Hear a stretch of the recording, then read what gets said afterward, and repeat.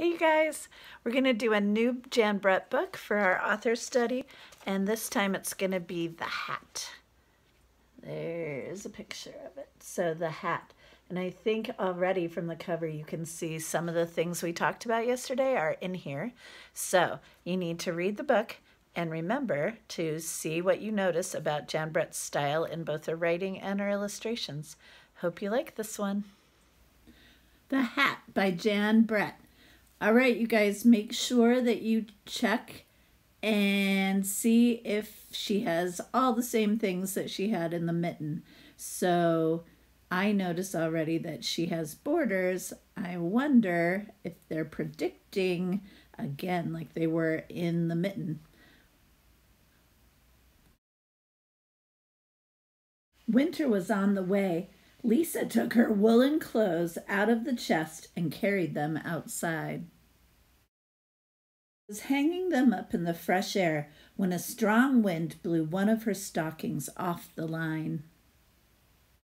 Curious Hedgie found it and poked his nose in. When he pulled it out, the stocking was stuck on his prickles. How embarrassing, Hedgie thought. Mother hen came by with her chicks. Cackle, cackle, she clucked and laughed. What's that on your head, Hedgie? Why, it's my new hat, he told her. Isn't it beautiful? The mother hen cocked her head as if she had an idea, and off she ran. Hedgie saw the noisy gander looking down at him. Honk, honk. Oh, the gander laughed. Look at that! The hedgehog has flipped his gizzard. Laugh today, gander, but tomorrow when it rains, my hat will keep me dry. The gander thought for a moment, and off he ran. Barn Cat was watching from a tree as Hedgie tugged at the stocking. Meow, he called down. Silly looking hedgehog you are with that thing on your head. But my ears will be warm in a snowstorm. Hmm, purred the cat, and off he ran. I bet some of you are noticing that there's repeating, huh? If you've been flashing the repeating sign at me, good job. The farm dog and her puppies found Hedgie in a patch of brambles.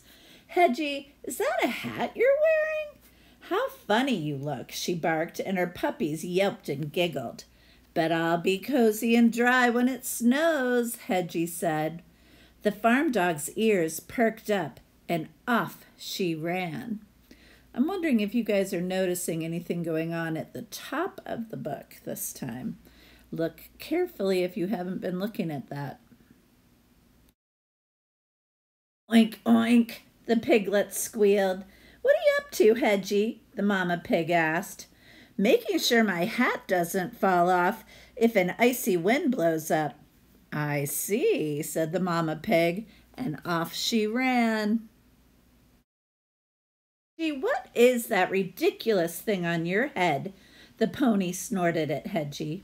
That was the last straw. It's my hat, of course. Don't you know that everyone should wear a hat in winter when it's cold and snowy? Hedgie shouted. The pony looked startled. Hedgie was usually so friendly, and off he ran. Hedgie just wanted to be alone. He was tired of everyone laughing at him, and with, with this thing on his head, he wouldn't even fit into his den. Didn't see Lisa running after him, the other stocking in her hand. Come back, you silly hedgehog, she called. Oh no, Hedgie thought, even the girl is laughing at me. Lisa caught up and pulled her stocking off Hedgie's head. You ridiculous little hedgehog, she laughed. Don't you know that animals don't wear clothes? Hedgie headed for his den, and Lisa started back toward the clothesline. That's when she saw all of her missing woolens. Did you guys notice that? Mm-mm, it's empty.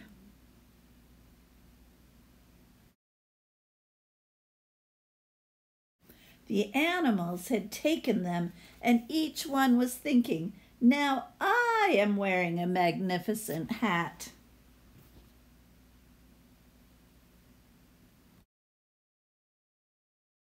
Lisa was still chasing them when Hedgie reached his den. How ridiculous they look! Don't they know that animals should never wear clothes? The end. Make your list of what you think Jan Brett's style is, both in her writing and in her illustrations, so we can talk about it. Okay, bye.